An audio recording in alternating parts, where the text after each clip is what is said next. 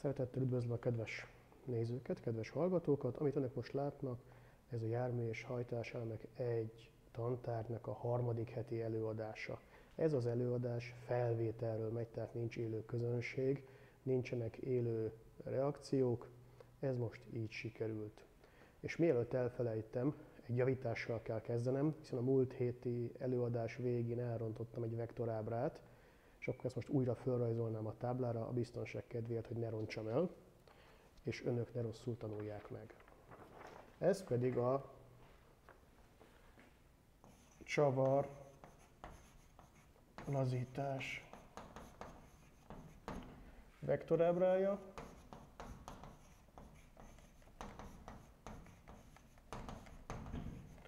Ugye ez úgy volt valahogy, hogy itt volt egy lejtő, talán már középiskolából tanulták. A lejtőn itt lakott egy normál erő, és ez a normál erő technikailag merőleges ugye a lejtőre. A lejtőnek kell lenni valamilyen alfa lejtőszögének, és ha ez megvan, azt mondjuk, hogy leszeretnénk szedni a lejtőről a rárakott dolgot, például a téglát, ha leszeretnénk szedni onnan, akkor itt biztos lesz valamilyen fajta ellenkező erőnk. Az ellenkező erő, ez az F. S, Fs pedig nem más, mint a surlódó erő, a surlódó erő pedig nem más, mint a műször, a normál erő. Ennek a kettőnek, ha ezt összeadom vektoriálisan, ugye a vektoriális összeadás már nem probléma, akkor lesz valamekkora összege, és ez az összeg lesz egy E eredő erő. Ezt az erőt kell legyőznöm ahhoz, hogy le tudjam szedni a lejtőről a dolgomat, és nézzük meg, hogy ezt az erőt hogyan tudom legyőzni. Hogyha a csavartengelyem nagyjából Ugye ez itt a csavartengely.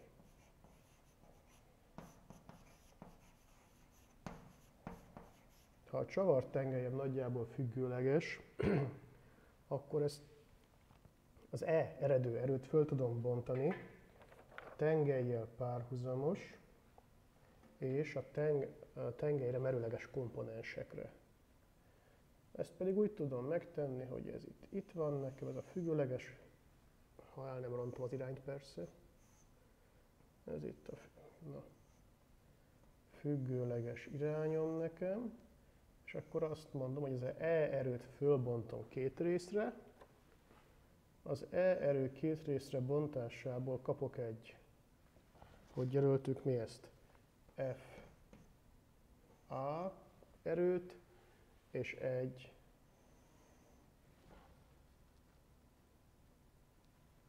A nyilat rossz helyre pakoltam el megint. FAR-re, itt pedig az FER-re. Az FE itt az előfeszítő erő, az FA pedig a csavartengelyre merőleges erőkomponens, hogy ezt jól lássam, biztonság kedvéért ide is akkor egy derékszöget. Jó, és akkor a szögekkel voltam elkavarodva, a szögekkel a következőt tudom mondani, milyen szögeim vannak.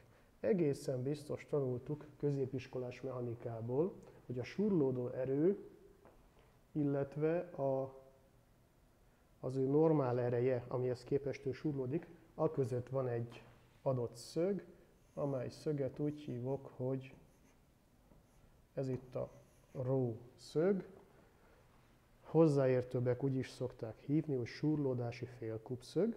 És ami a hiba volt a múltkor, hogy elbambultam, és az alfa szöget nem jól rajzoltam be. Az alfa szög pedig nem más, mint a lejtő szöge. Ha pedig ez a lejtő szöge, akkor keresünk a lejtő szárára merőleges komponenseket, ez merőleges erre a szárára, ez merőleges erre, akkor az alfa bizony ott van.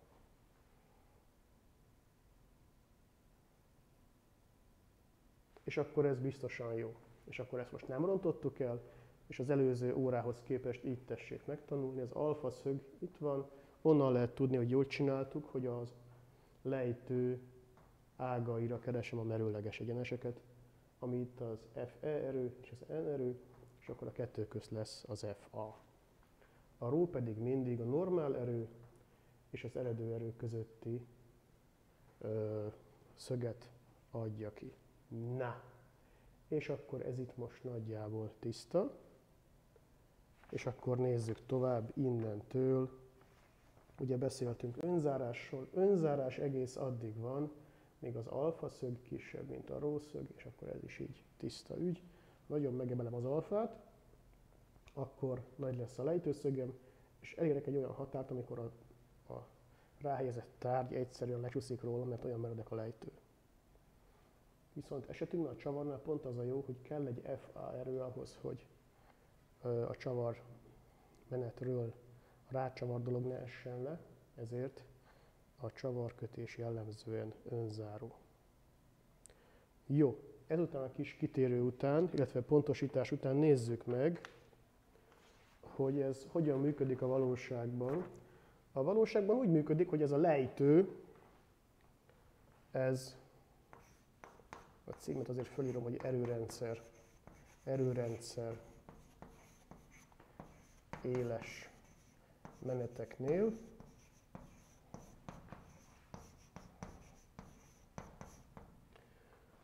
Ez a lejtő a csavarban hol van? Ez a lejtő a csavarban jellemzően úgy néz ki, hogy ahogy rajzolom például a lapos menet profilt,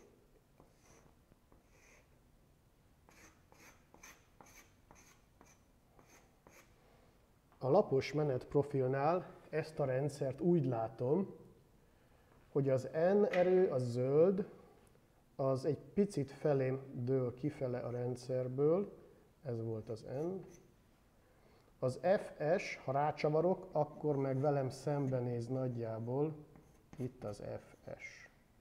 Jó, ha egy szelettjét nézem ennek a lapos menetnek, és a lapos menethez képest mi a különbség éles meneteknél? Azért van bizonyos különbség, ugye ez volt a lapos menet,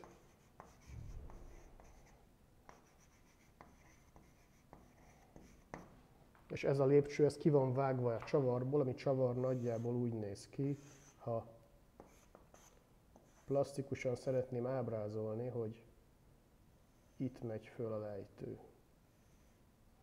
És ennek ezen a pontján itt az N, és itt az F, S. Jó, hogy érezzék, hogy miről van szó. Itt az N, a lejtő, és a lejtő egy tekeredik fel a csavarra. A csavarra föltekeredő lejtőt úgy is el lehet képzelni, mint egy csiga lépcsőt nagyjából, csak lépcső helyett rámpát gondolnak oda, és ez az, ami az elvét adja a dolognak. Következő, mi van akkor, hogyha menetünk nem ilyen lapos, négyszög profilú, hanem éles menet, tehát klasszikusan valamilyen ilyen, ezt persze szebben is rajzolhattam volna szokásosan, éles menetnél valamilyen olyan alakja van neki, hogy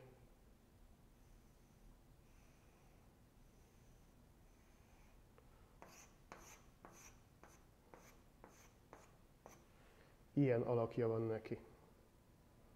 Hát, ugye az ember rajzol ész nélkül. A normál erő, az mindig garantáltan normál is a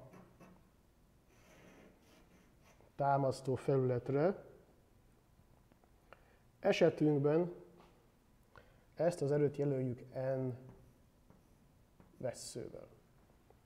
És a surlódás pedig mindig velünk szembe mutat, ez az S így kifele a táblából.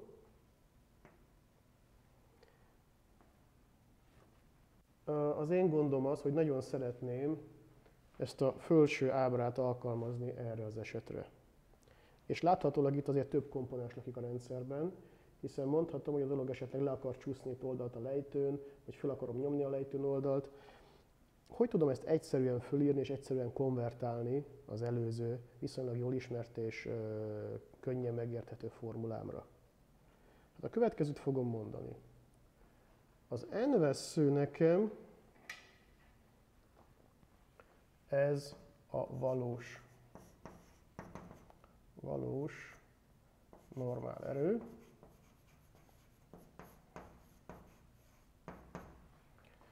De én ehhez képest mit keresek? Valami olyan fajta erőt, ami a csavar tengelyel párhuzamos, mert úgy tudok könnyen számolni.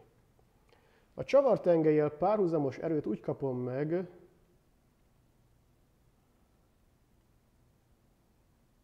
hogy megnézem, hogy itt mi van. Ez a csavartengelyel párhuzamos irány, és itt akkor valamilyen ilyen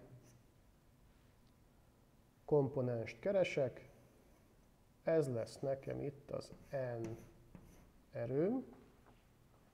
Hol lesz itt a derékszög? Itt lesz a derékszög. És a kettő közt mit látok?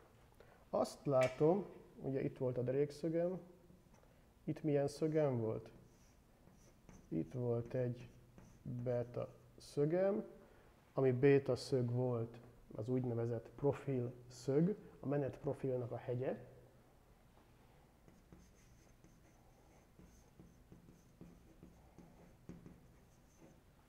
És ha megint előveszem az én párhuzamos vagy merőleges száruszögeimet, akkor azt látom, hogy mit látok?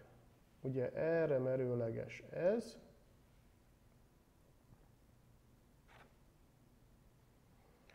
és ha itt húzok egy vízszintest, ez a szög mennyi lesz? Ez a szög nem lesz más, mint béta per 2.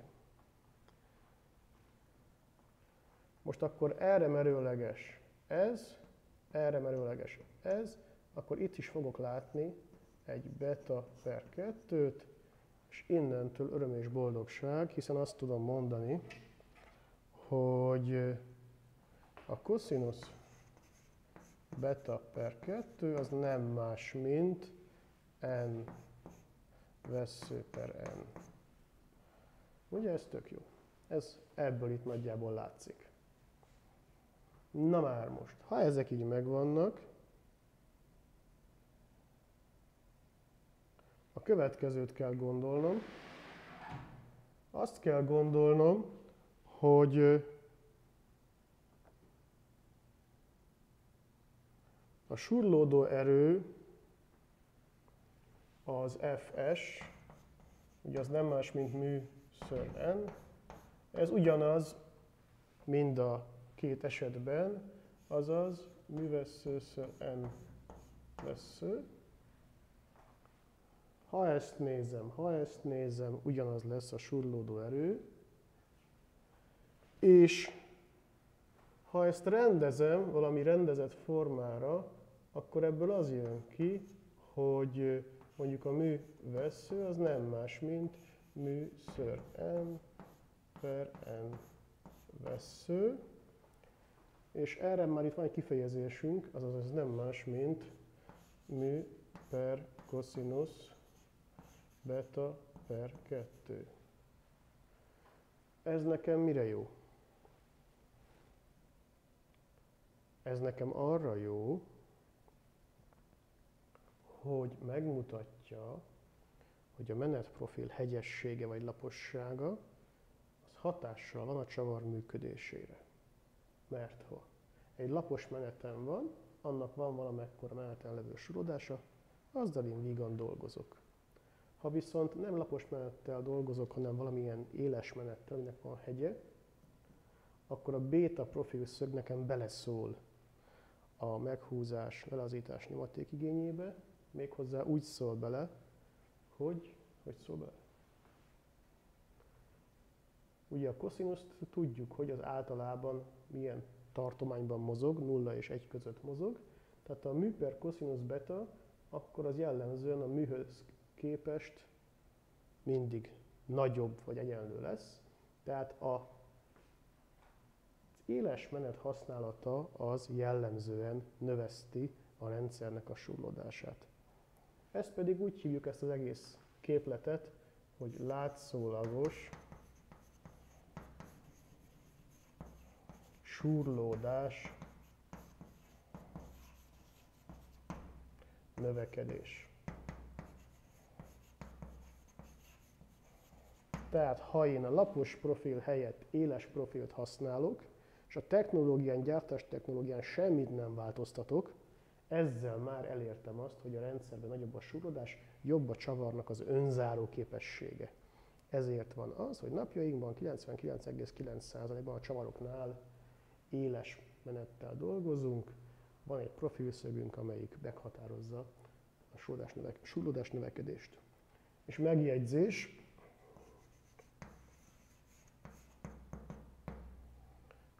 nem, ahogy van virtuális mű, úgy van rho virtuális is, ami nem más, mint arcus tangens művesző. Tehát van nekünk egy virtuális sorodási félkupszögünk is, amely a róhoz képest egy kicsikét nagyobb, azért kicsikét nagyobb, mert a béta hatása beledolgozik a mi eredeti, egyszerűen leírható rendszerünkbe. Jó. És ha ez megvan, innentől kezdve az emberek nem kell sokat gondolkodni, meg tudja számolni azt, hogy mennyi a meghúzási nyomaték a meneten.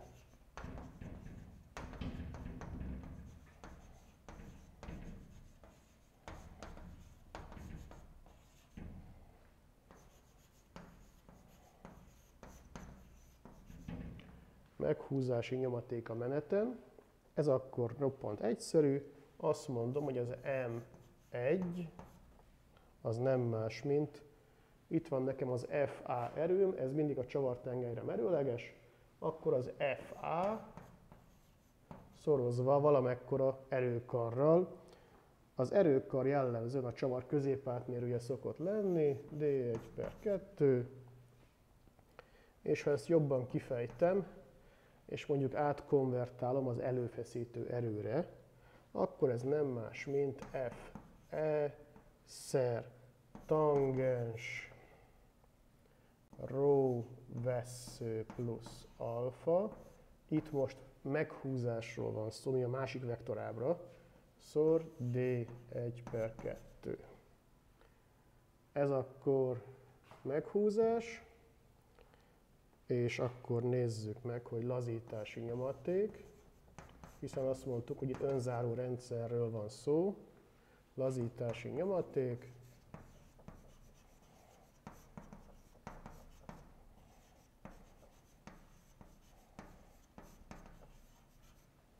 az pedig ebből következőleg M1 egyenlő F előfeszítő szor tangens zárója rho vesző mínusz alfa szor D1 per 2, és ami a vicces, hogy ugye azt mondtam már múlt órán is, hogy ez nem nulla, hanem egy határozottan nullánál nagyobb érték.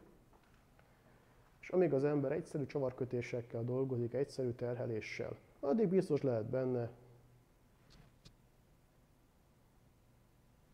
mérnökök vagyunk, valós körülmények között dolgozunk, valós gyártási lehetőségekkel és feltételekkel. Tehát ha biztosak vagyunk benne, azt jelenti, hogy mondjuk 92%-ban biztosak vagyunk benne, 92%-ban így fog történni, 8%-ban még nem így fog történni.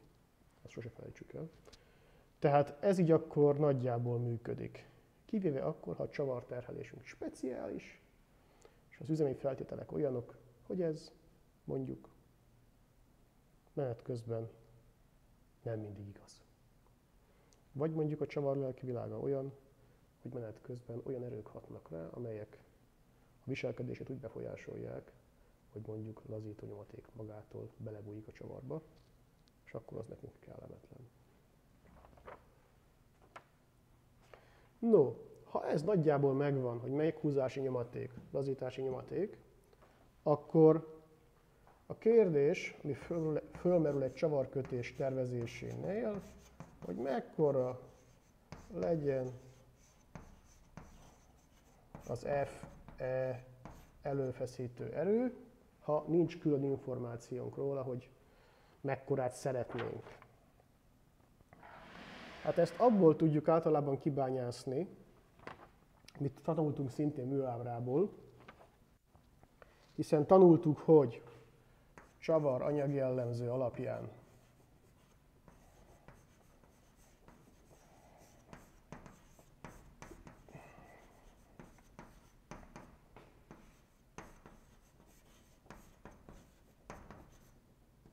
csavar anyagjellemző alapján emlékszünk rá, hogy például egy számjegy pont két számjegy típusú a csavarok anyagjelölése, egy számjegy vagy két számjegy pont és egy másik számjegy. Erről mit is tanultunk műábrából? Azt tanultuk, hogy ezt úgy kell dekódolni, hogy a szakító szilárdság RM feszültség az nem más, mint az első kódszám 6 szor 100, azaz 600 megapascal. Tehát ha a csavart megrántom, a csavar 600 megapascalnál fog elszakadni, illetve az REH az nem más, a rugalmassági határ nem más, mint az első szám, azaz nekem most itt a 6-os, szor második szám, nekem most 8-as, szor 10, az pedig 680 megapascal, ha el nem rontottam. 6x8, de hogy nem rontottam el, hiszen nem tudok összeadni, meg szorozni se tudok. 6x8 az nem 680, hanem 480, de 6x8 az 48. 480 megapascal, ez a rugalmassági határ. Na most, ha tudom azt, hogy a csavaromnak a rugalmassági határa 480 megapascal, és a csavarom kellőképp egyszerű terhelést kap, mondjuk időben nem változó terhelést, akkor mondhatom azt, hogy H10 bigyó, mekkora a szigma megengedett csavar, szigma megengedett egyenértékű feszültség szegény csavarban. Erről tudom azt, hogy az egészen biztos valamilyen REH alatti dolog lesz, egy S biztonsági tényezővel leosztva, kisebb egyenlő, az biztos, és az S az közelítőleg 1,1. És akkor nem tévedtem sokat. Tehát ez arra az esetre működik, hogyha mondjuk a csavarkám az valamilyen időben állandó, nem túl nagy, nem túl jelentős terhelést fog kapni. A csavarok jelölését pedig méltóztatunk megtanulni, ha nem tanultuk még meg, hogy elfelejtettük. Ez biztosan kell. Jó. Tehát indulhatok a csavaranyag jellemző alapján, ha szeretnék előfeszítő erőt számolni. A másik ilyen dolog pedig lehet a csavar terhelése alapján.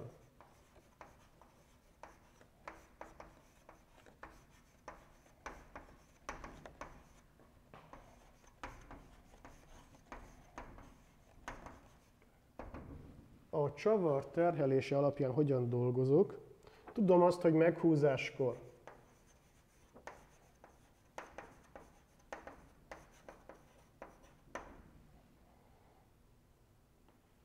milyen igénybevételek ébrednek a csavarban, lesz biztos valamilyen húzás az FE előfeszítő erő hatására, és lesz valamilyen csavarás. Hiszen csavarba tekerem föl anyát a csavarra, csavarba tekerem bele a csavart az anyamenetfuratba, ezért legalább kétfajta igénybevétel fog ébredni, tehát látni fogom azt, hogy valamilyen egyenértékű feszültséggel kell dolgoznom, hogy ezt tanultuk a múlt órákon, és szigma red akkor nem lesz más, mint gyök alatt szigma négyzet plusz 3 tau négyzet, mert azt tanultuk, hogy a tau feszültség sokkal veszélyesebb. Akkor csak ismétlésül szigma feszültség, mint tudjuk, húzás, nyomás, hajlítás. Tau feszültség, mint tudjuk, nyírás, csavarás és alapvetően a tau feszültség hatását sokkal veszélyesebbnek vesszük, ezért az egyenértékű feszültség számításakor mindig egy valamilyen konstanssal megszorozzuk, megsúlyozzuk ezt a veszélyességet. Továbbá ismétlés, már tanultuk az elmúlt órákon, hogy az egyenértékű vagy edukált feszültség mire való. Az egyenértékű vagy edukált feszültség arra való, hogy a valóságban ébredő alkatrész, a valóságos alkatrészben a valóságos terhelés hatására ébredő többfajta feszültség komponensből fölépülő állapotot lehetőleg egy feszültség jellemzővel tudjuk jellemezni, egyetlen számértékkel tudjuk jellemezni, mert a szokásos, legolcsóbb, legegyszerűbb anyagvizsgálatnál, a szakítóvizsgálatnál tiszta húzó feszültséget tudunk egyetlen számjegyel jellemezni, és a redukált feszültség számjegyét azért találták ki, hogy össze lehessen vetni a húzó vizsgálatnál végzett feszültségszinte lesz a feszültségszintet. Na, ezt tudjuk, még sokszor el fogom mondani, mert fontos, hogy megtanulják. Jó, és itt akkor, ha ez megvan, ezt nagyjából úgy látom, hogy ez nem más, mint gyakorlatilag közelítőleg 1,32 szigma, és ennek kell kisebb egyenlőnek lenni, mint szigma megengedett. A szigma az a valós terhelésből származó feszültség. Jó. Tehát akkor most már tudjuk azt, hogy a csavarkötésben a meneten milyen nyomaték kell ahhoz, hogy az anyát föl lehessen tekerni, vagy le lehessen tekerni a menetről. Kérdés, hogy minek van még nyomaték igénye csavarkötésben.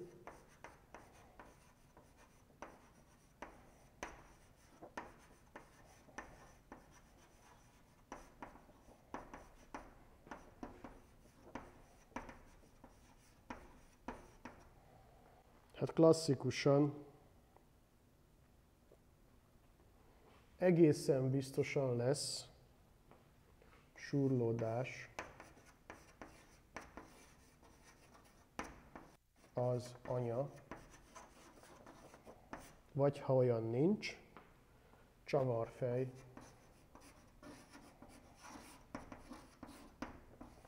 alatt.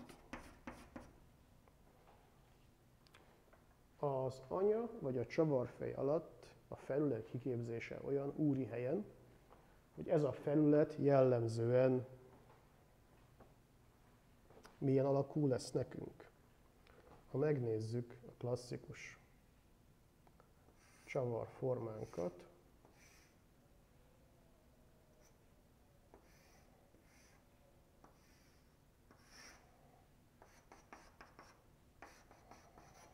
akkor ez a felület olyan lesz, hogy itt lesz egy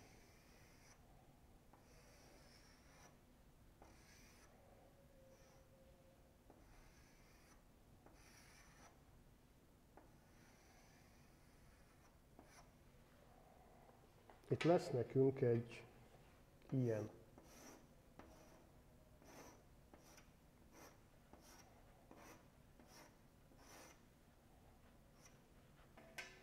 ilyen felületünk, amely láthatólag milyen alakú. Ha arra megyek, mindjárt látják, hogy ez milyen alakú. Ez jellemzően egy gyűrű felület.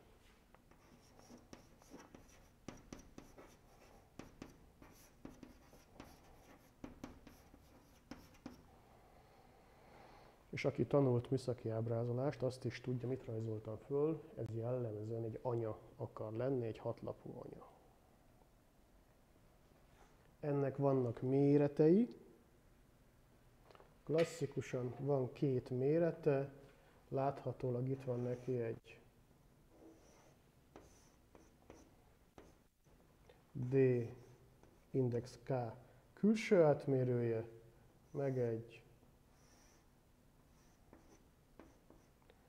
D index B belső átmérője, és ezt úgy lehet leírni, hogy van neki egy közepes sugara, R, K közepes sugár, az nem más, mint egy harmad, tudományosan kiszámolva, D, K köb mínusz D, B köb per D, K négyzet mínusz D, B négyzet, és köbök mínusz négy, köbök osztva négyzetekkel, az egy elsőfokú sugár és milliméter mértékegységet fog kiadni, tehát a képlet nagyjából jó.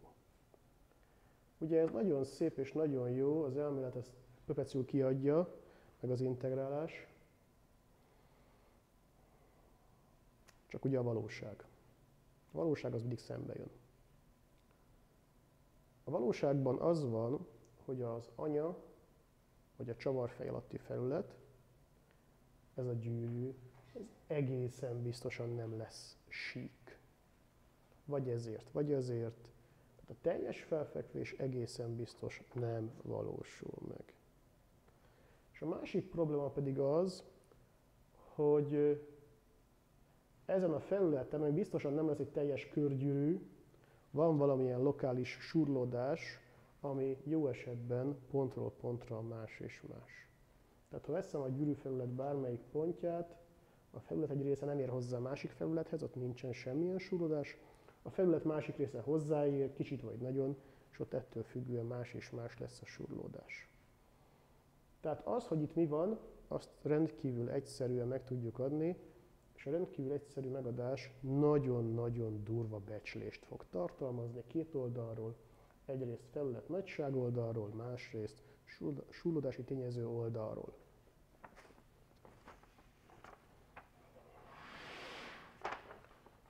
Felület nagyságot.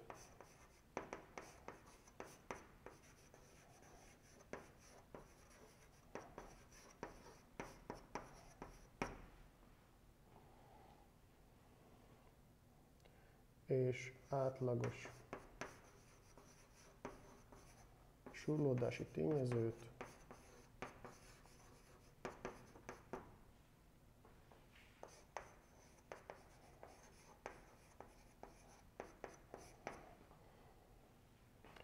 csak becsülni tudjuk.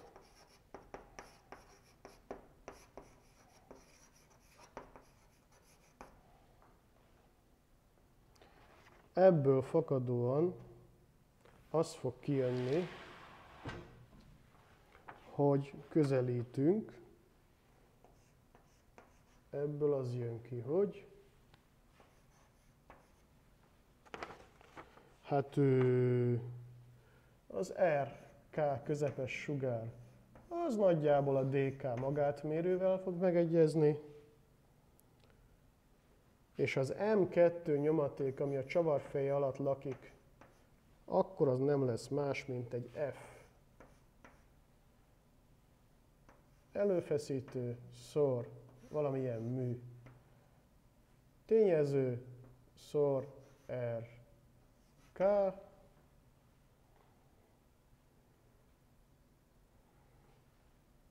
Ugye az F az előfeszítő erő, a mű a csavarfej alatti suglodás, kettő együtt kiad egy kerületi erőt, ami RK sugáron dolgozik, és akkor azt mondhatom, hogy a csavar meghúzás össz nyomatéka.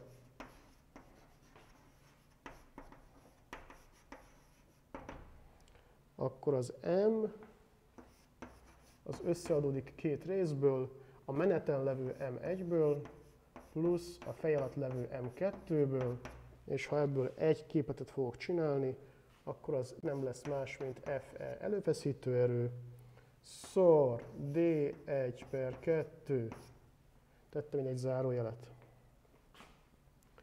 szer tangens, zárójel rho vesző plusz alfa, zárójel bezár, plusz D1 szer, nem D1, D2, D2, na, töröljünk. Plusz D2 ször mű, és zárójel bezár. Jó? Látják itt, hogy a csavarkötés meghúzás nyomaték az jellemzően az előfeszítő erőre van kihegyezve, és az előfeszítő erő az, amelyik a nyomatékot megadja. És akkor megjegyzések.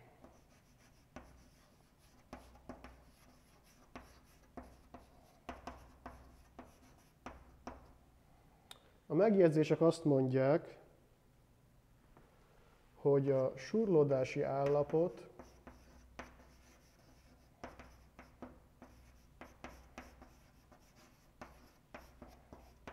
igen komplex.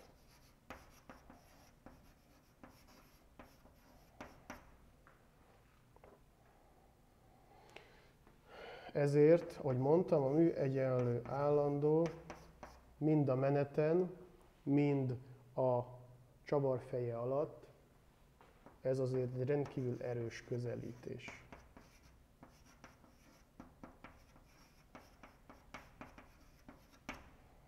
Ha kíváncsiak erre, hogy mennyire erős a közelítés, fognak egy vadonatúj csavart, meg egy vadonatúj anyát, befogják az egyiket a satuba, a másikat ráhúzzák egyszer, kétszer, háromszor, négyszer, ötször. A telefonon nézik a makrofunkcióval, hogy hogy néz ki a csavarmenet felülete, vagy az anyamenet felülete, és öt meghúzás alatt tapasztalni fogják, hogy a felület már megváltozott. Bejáródott, kopott egy picit. Ennek okán, ha én ugyanazt a csavart, ugyanazzal a nyomatékkal ötször meghúzom, az előfeszítő erő meredeken emelkedni fog, ugyanakkor a nyomaték mellett. Márpedig tudom azt, hogy a gyártásban szórás van, és a csavar menet felület, meg az anyamenet felület is szór, hol ilyen, hol olyan. Ezért ott, ahol nagyon fontos a csavarkötésben az előfeszítő erő, ott nagyon gyakran föl van írva nekem a szerelési könyvben, hogy új csavarokat használok. Ha jó, ha nem jó, kibontottam, jobb kézzel, bal fölött eldobom, és veszem ki a zsírpapírból, vagy a fóliából az új csavarokat, amelyek ellenőrzött minőséggel, ellenőrzött felület típussal készülnek, és ezeket húzom meg az előírt nyomatékra. És a másik ilyen előírás, biztos, ha szereltek már, villáskulcsal dolgoztak már, ugye nem véletlen,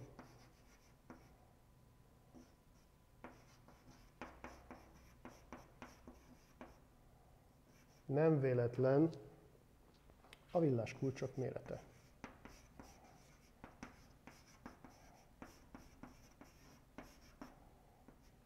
Mérete.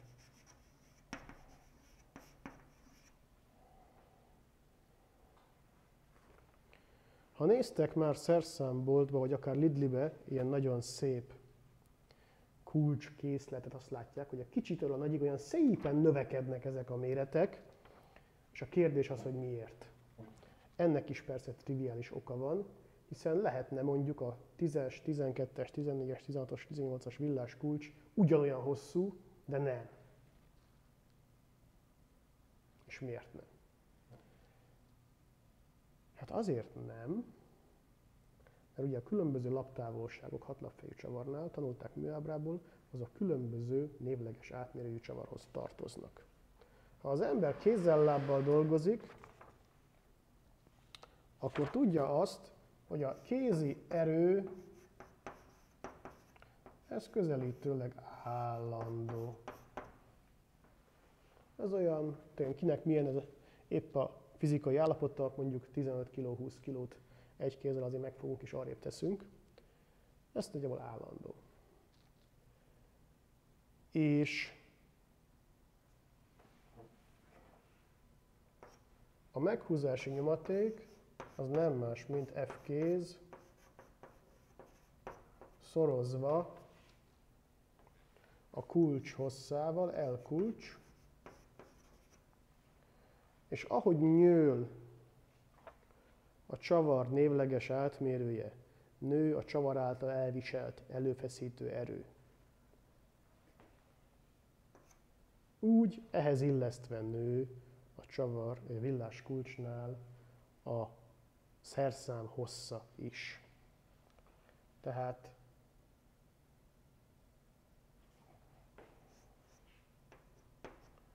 ha D csavar névleges átmérő nől, akkor hozzá nőlhet az L kulcs.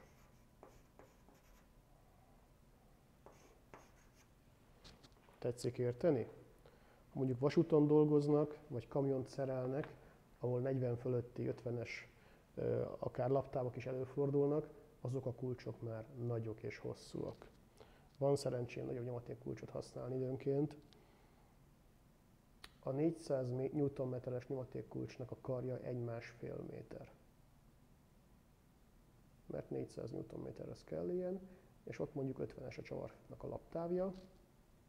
A csavar névleges átmérő meg olyan, mondok egy számot, 25-ös mondjuk, vagy 30-as.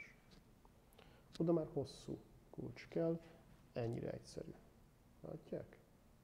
Biztos nem gondolták még eddig végig. Jó.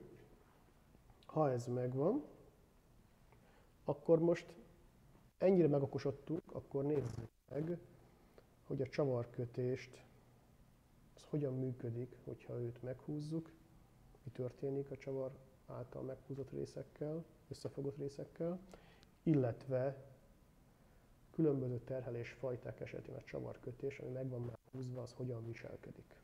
Ezek sem egyértelmű dolgok. Ahogy a súlódás se egyértelmű, aki azzal akar foglalkozni, hogy a súlódás hogyan működik a csavarmeneten, éveket el lehet gondolkodni és mérni rajta. Ö, nagyon nem tudja az ember, hogy ez pontosan, lokálisan, négyzetmilliméterről négyzetmilliméterre, hogy és mint működik. Jó, akkor nézzük tovább. Nézzük tovább, nézzük tovább.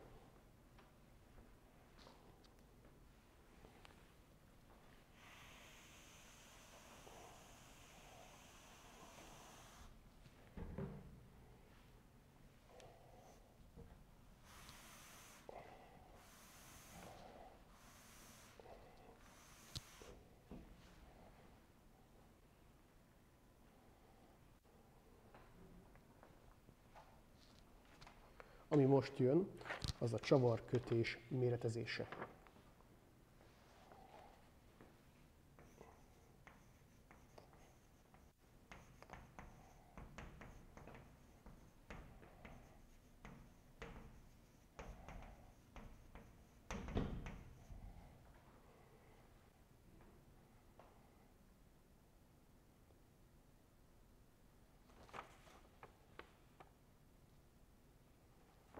Az első esetünk az a statikus terhelés.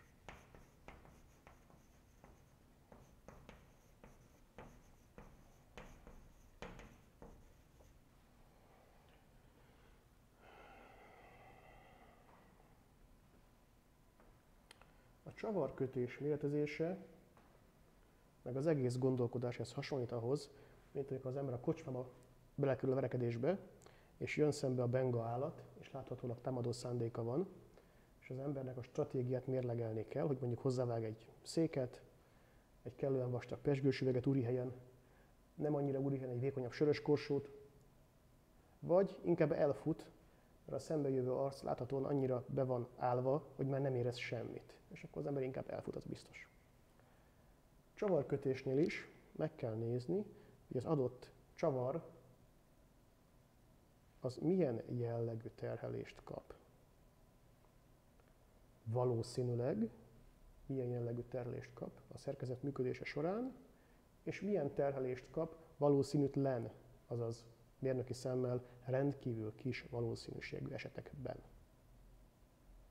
És ezeknek a végiggondolása olyan mérnöki feladat, ami, amihez egyszerűen muszáj gondolkodni, és ezt szokták megfizetni az embernek. Nézzük. Statikus terhelésnél azt mondom, hogy a mértékadó dolog az az előfeszítő erő.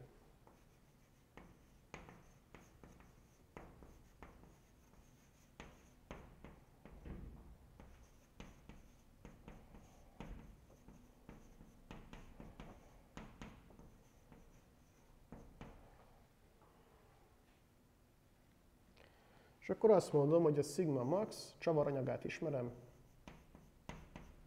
az valamennyi F előfeszítő erő per A, ahol az A a csavarnak a mag keresztmetszete, azaz F E per d 2 négyzet pi per 4. Hogyha esetleg az emeletes törtökkel gondjuk van, a biztonság kedvéért odaírom, hogy ez így néz ki a végén leegyszerűsítve, d2 négyzet pi, és akkor nincs benne emeletes tört, és nem kell megijedni tőle.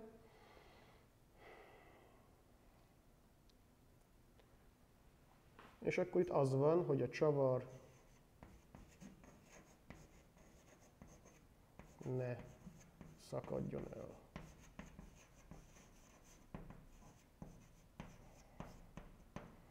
A csavar akkor nem szakad el, hogyha sigma max kisebb egyenlő, mint sigma megengedett. Klasszikus ilyen példa a, az emelő csavarok helyzete, mikor nagyon nehéz tárgyakba, villanymotorokba, hajtóművekbe, különböző ipari berendezésekbe úgynevezett szemes csavar van becsavarva. Szemes csavarról hallottak már valószínűleg műszaki ábrázolásból.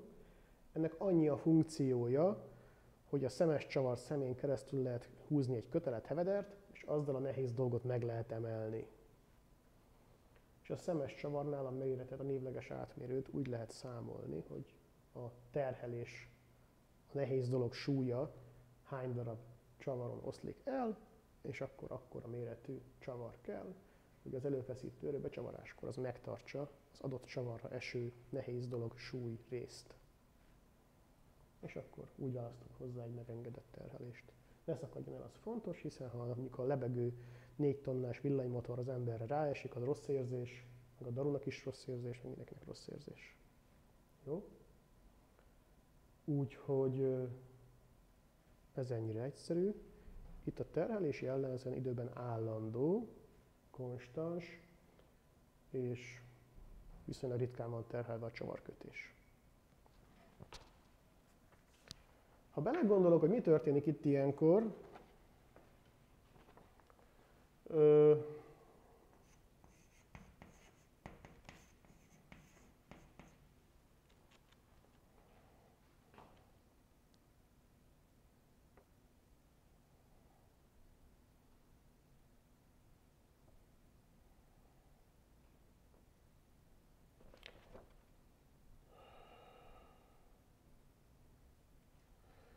is ezt írom le, hanem azt írom le, hogy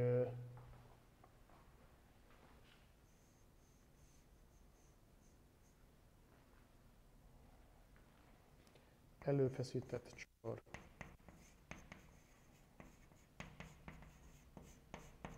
És előfeszített csavarkötés.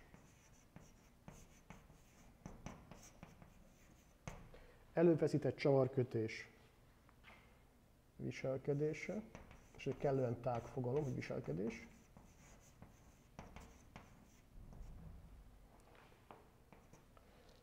Ugye, hogyha tudunk rágózni, és tudunk a rágóból lufit fújni a nyelvünkkel ügyesen formázva, akkor azt is tudjuk, hogy hogyha a rágót vagy játszani akarunk, akkor megfogjuk, meghúzzuk a rágót, és visszajátszunk, és akkor megnyúlik szépen. És azt is tudjuk, hogy a rágók kiúzósóhoz nem kell túlságosan nagy erő, mert a rágónak a szerkezete olyan, hogy az viszonylag puha és lágy. Bezzeg a csavarkötésnél, azért ott acélról van szó, és ezek a deformációk, alakváltozások viszonylag kisebb mértékben, de azért ugyanúgy megvannak. Ezt nem kell ekkora. Azt mondom, hogy Függőleges tengelyre fölveszek egy F erőtengelyt, vízszintes tengelyre pedig fölveszek egy deformációt. A def azt jelenti, hogy deformáció, és ide fölrajzolom az FE előfeszítő erőt a csavarkötésben. Az előfeszítő erő a csavarkötésben úgy működik, hogy a csavar, ha megvan feszítve, megvan húzva, az pont úgy viselkedik, mint egy rúd, egy fémrúd, amit ha meghúzok, akkor az egy pöttyöt mérhetően, nem sokat, de mérhetően megnyúlik. Ezt a nyúlást ami tart innentől idáig, ezt jellemzően kis lambda betűvel szoktuk jelölni, ez a kis lambda betű itten, ez esetünkben a csavar nyúlása.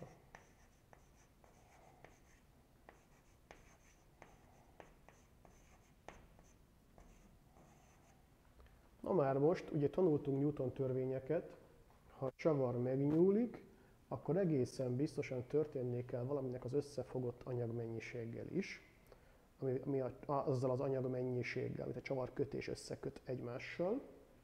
Tehát ha ugyanúgy egy másik skálát rajzolok, itt lesz egy másik skála, ahol a függőleges tengelyen szokás szerint erőjellegű mennyiség lesz. Vízszintes tengelyen megint deformáció jellegű mennyiség lesz. Ide is behúzom az előfeszítő erő FE hatását. Akkor, ha csavarkötésben van előfeszítő erő, akkor az összefogott anyagban kutyakötelessége szintén lenni előfeszített erő, előfeszítő erőnek. De az összefogott anyag jellemzően térfogatra más, mint a csavar, sokkal nagyobb és merevebb, ezért azt mondom, hogy itt valamilyen ilyen lineárisnak rajzolom, deformáció fog előjönni, és ezt a deformációt jelölöm általában kis deltával. A kis delta, ez az összefogott anyag,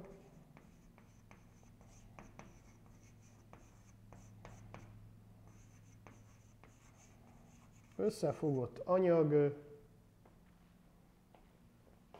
összenyomódása.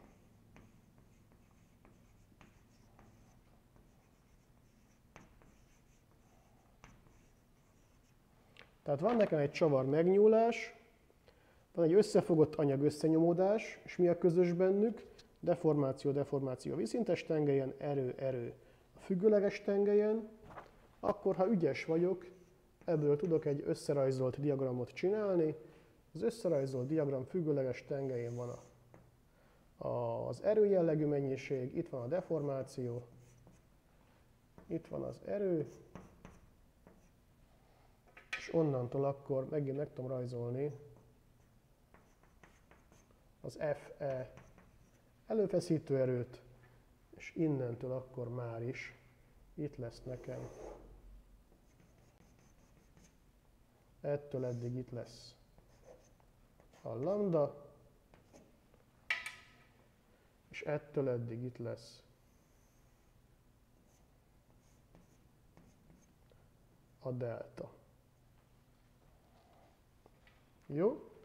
És akkor ez egy klasszikus úgynevezett csavar erő hatásábra, csavar erő diagram, ami ilyen háromszög formájú, bal oldalt a csavar és az ő megnyúlása, jobb oldalt az összefogott anyagmennyiség és az ő összenyomódása látható. Az ábrából az is látszik, hogy az ábra alapján.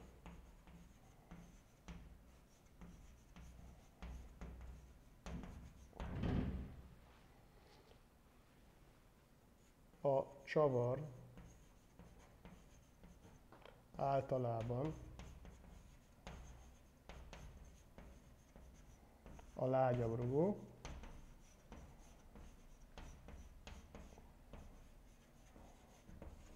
hiszen a csavar keresztmetszet jellemzően korlátos, adott D névleges átmérőjű, míg az összefogott anyagban sokkal több a hely.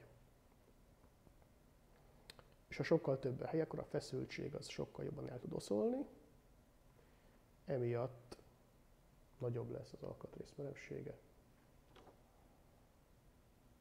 Ami fontos még csavarkötésnél, hogy az összefogott, opa, az összefogott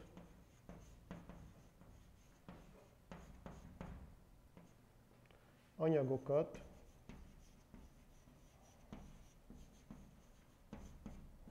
a Súrlódás.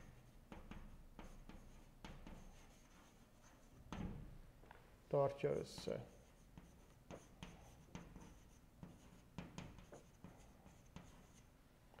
Tehát az a teljesítmény, az erő, a nyomaték bármi átadása a csavarkötéssel összefogott két alkatrésznél az egyikről a másikra, az jellemzően a csavarkötés hatására a két felület között kialakult surlódáson keresztül történik, ezért ezt úgy hívjuk, hogy erőzárás. Gyakorlatilag megszűnik az erő, nyomaték, stb. átvitel, hogyha a csavarokban az előfeszítő erő bizonyos szint alá esik, és megjegyzem, hogy ez a szint ez nem a nulla szint, hanem az adott átviendő nyomaték átviteléhez szükséges szint. És akkor jól értik, hogy itt beleszámít a felületek érdessége is a dologba, és a csavarkötés meghúzási ereje is a dologba. Ha bármilyen okból bármelyik csökken, és a kettős szorzata leesik a szükséges szint alá, akkor így jártak. És ebből az is adódik, hogy az FE előfeszítő erő feladata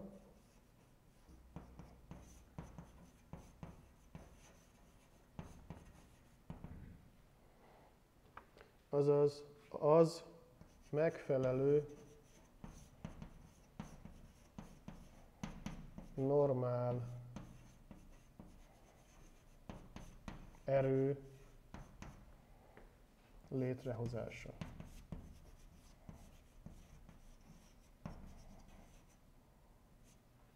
Tehát ha a csavar előfeszítő erőnek az a dolga, hogy ő normál erő legyen, és a két felületet összenyomja, hogy az összenyomott felületek tudjanak egymással összekapaszkodni és dolgozni, akkor ebből az jön ki, hogy a csavar általában nem nyírásra terhelt. Jó? Tehát csavarkötést úgy építünk be az esetek 97%-ában, hogy a nyírásra a csavarkötést, a csavar anyagot nem ö, méretezzük, mert nem kell. Üzemszerűen a csavar teste, a belső átmérő nem fog nyíró terhelést kapni, úgyhogy az minket nem izgat. Hogyha a csavar elkezd nyíródni, ott a csavarkötés nem üzemszerűen működik, vagy a kedves tervezőmérnök rettentően elszámolt és elbaltázott valamit. Jó? Úgyhogy aki a csavar számításban vadul a csavarkötés nyírásra méretezi, azt legalábbis ki fogom nevetni, de lehet, hogy rossz pontot is fog kapni miatta, mert nem gondolkodik, csak másolja a tetszőleges helyről származó sillabuszt. Úgyhogy méltóztatnak gondolkodni. Jó. És akkor, ha még gondolkodunk egy picikét, akkor ugye eddig volt az, hogy előfeszített csavarkötés viselkedése, azt mondtuk, hogy a csavar picit nyúlik, az összefogott anyag picit összenyomódik, és akkor nézzük meg, hogy mi van akkor, hogyha a külső terhelés hat, az előfeszített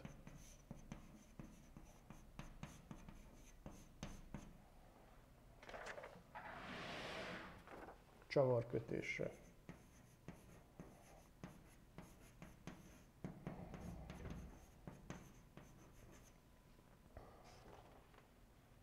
Erre tudok rajzolni egyszerű ábrát.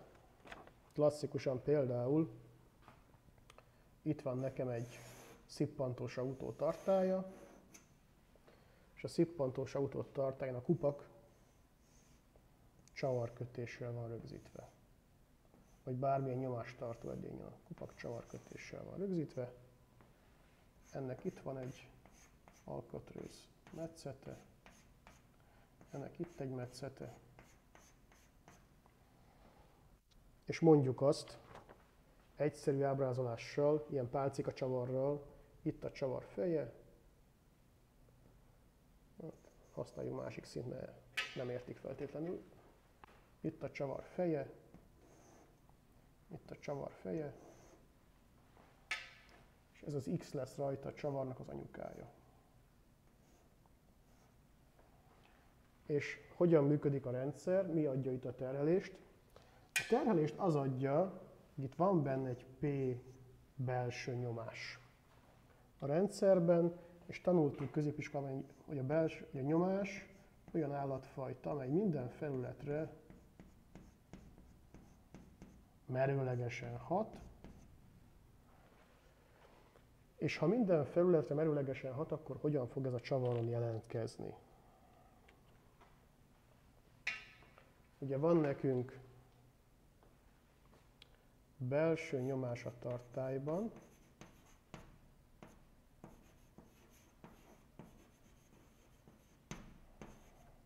tartályban.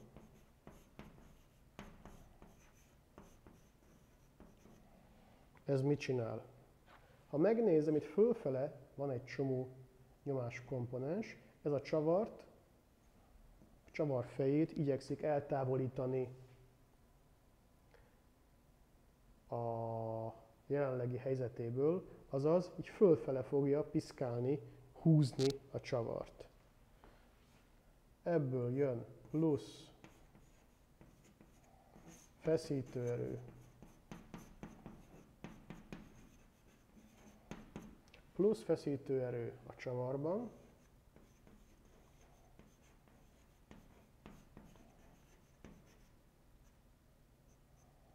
plusz feszítőerő a csavarban, azaz a csavar jobban meg fog feszülni, és ha itt ez a felső fedél kicsit följebb emelkedik, akkor itt az előfeszítő erő hatására létrejövő szorítás a két felület között egészen biztosan gyengülni fog.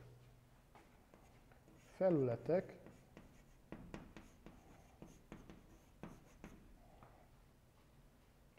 Összeszorítása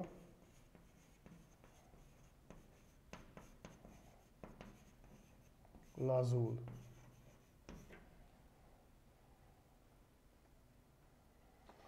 És ugye, hogyha lazulás van, akkor kisebb normál erő, ez egész egyértelmű, a felületek, közt lecsökken a, felületek között lecsökken a normál erő ezen a szinten, és ha ezek a felületek valós felületek, és van felületi érdességük, akkor azt is fogjuk tapasztalni, hogyha kisebb a nyomóerő, akkor kisebb lesz a felületek közti surlódás. Kisebb surlódás.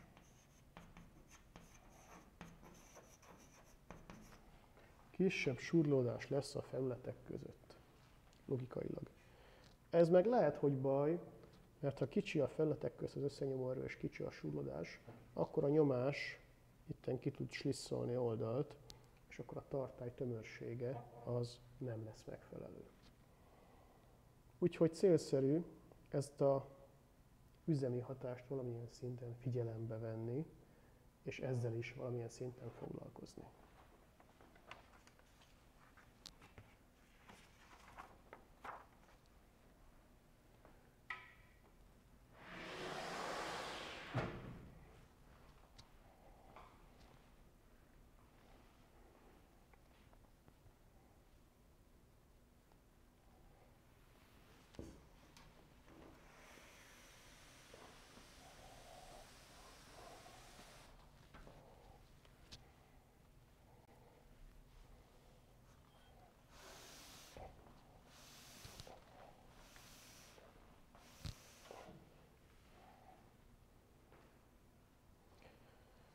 Amit persze itt elmesélek, ez a problémakör, ez nem újdonság, csak önöknek vannak az újszülöttek. Ennek nagyon régi irodalma van. És az egész rendszert úgy szokták modellezni, a csavarkötés modellezése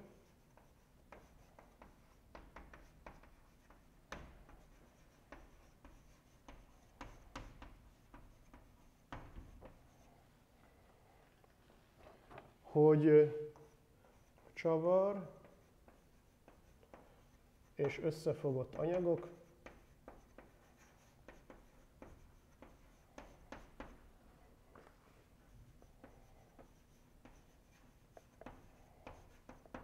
ezek nem mások, mint rugók.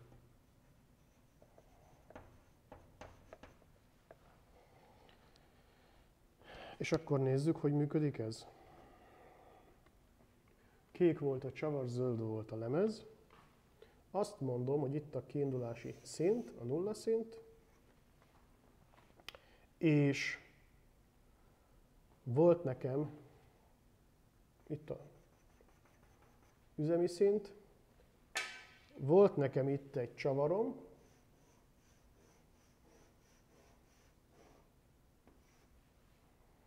és a csavarnál itt van az a lambda távolság, amennyivel ő megnyúlik, hogy a rendszer működni kezdjen. Ez a csavar.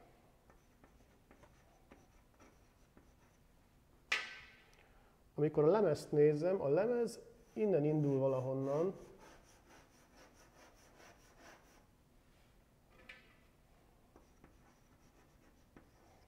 Ja, lemeznek nevezem klasszikusan ebben a fajta tárgyalásmódban a csavarkötés által összefogott anyagot. Tekintet nélkül arra, hogy ez most hengerfej, síklemez, alulöntvény vagy bármi egyéb. Jó? Lemez a neve az összefogott anyagoknak. Itt akkor ez a pici távolság, ez a delta. Ez a meghúzás előtti állapot képe,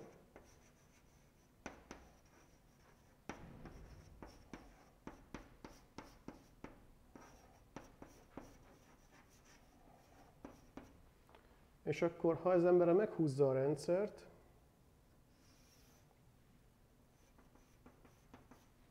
azt fogja tapasztalni, hogy a csavar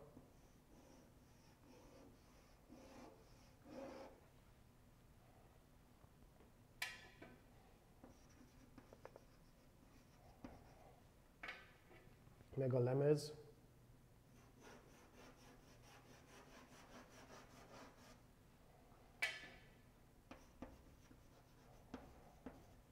meghúzva.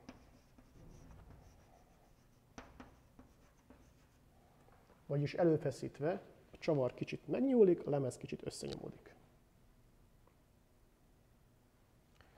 Alapfeltevés a következő.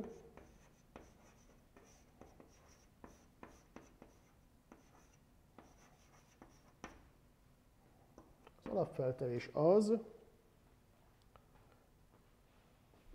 hogy minden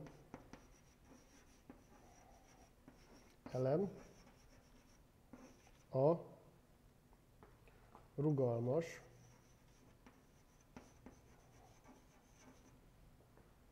zónában dolgozik,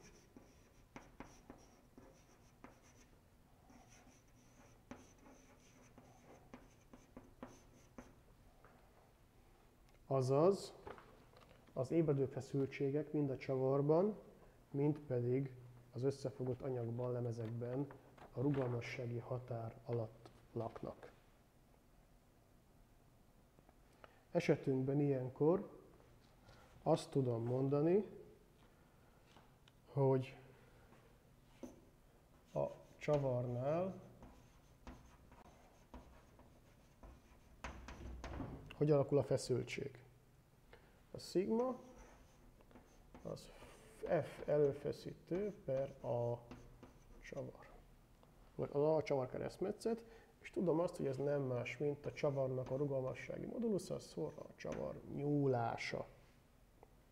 És azt is tudom itten még, ez az ésnek a jele matekból, hogy a nyúlás az nem más, mint ugye delta L per L, hosszváltozás per hossz, ami nem más, mint a lambda, ez volt a hosszváltozás a csavarnál per LC csavar hossza. Na most akkor itt a kettőt összebírom rakni, mert azt mondom, hogy az FE per AC, ez ismerős eddig, csavar keresztmetszet, az nem más, mint egyenlő, azt mondom, a, az E Young modulus szor lambda per LC, csavarnyúlás per csavar hossz, és ha ezt rendezgetem, azt fogom kapni, hogy lambda egyenlő, ha el nem rontom, F E per A C szor L C, itt meg osztva a Young modulusszal. És ez a dolog akkor szépen kiadja nekem, hogy mennyi a csavar nyúlása. Ez a csavar nyúlása. És ez még számolható is. Ha pedig a nyúlás megvan, akkor mondhatom azt, úgy is rendezgethetem a jelenletemet, hogy ezt átrendezve mondjuk f e per lambda, fe per lambda az nem más, mint a csavar e per l csavar, és ennek adhatok egy nevet, ez lesz az S csavar, S-sel pedig mit szoktunk általában jellemezni, ez lesz nekem a csavar rugómerevsége.